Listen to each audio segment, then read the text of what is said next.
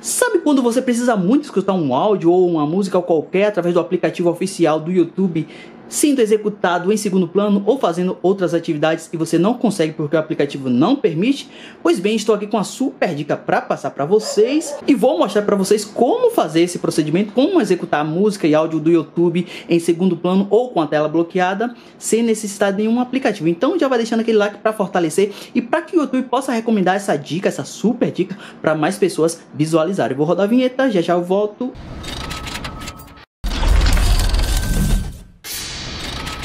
Pois bem, pessoal, e aí, tudo beleza? Então vamos lá mostrar essa dica que não precisa de nenhum aplicativo a não ser do aplicativo nativo que já vem instalado geralmente em qualquer smartphone Android, que é o Google Chrome. Acessou o navegador, acessou o site aí youtube.com, fez seu login, ou seja lá o que for, você pode fazer o login ou pode não fazer. Então, vai acessar aqui os três pontinhos, clicar na opção versão para desktop e aí vai ser exibida uma versão para desktop no navegador Chrome. Vou escolher aqui a música que eu quero que execute em segundo plano. Vou dar um play aqui na música. Está executando em segundo plano. Agora eu posso bloquear a tela.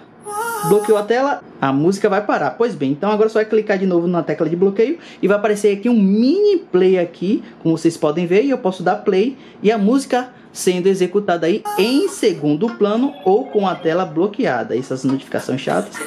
Posso bloquear e a música está sendo executada em segundo plano, como vocês podem ver. Além disso, você pode fazer outras atividades no smartphone enquanto a música está sendo executada ou áudio qualquer, seja lá o que for. Você pode fazer qualquer atividade no smartphone que a música vai estar tá tocando lá e você pode dar pausa aqui no mini play. É uma dica, uma super dica que é muito simples de executar e não precisa de nenhum aplicativo de terceiro, o que é mais importante. Então, basicamente é isso, pessoal. Então não deixe de dar o like para fortalecer, para que o YouTube possa recomendar esse vídeo aí, essa dica, esse truque, para mais pessoas terem acesso. Então vou ficando por aqui e até a próxima.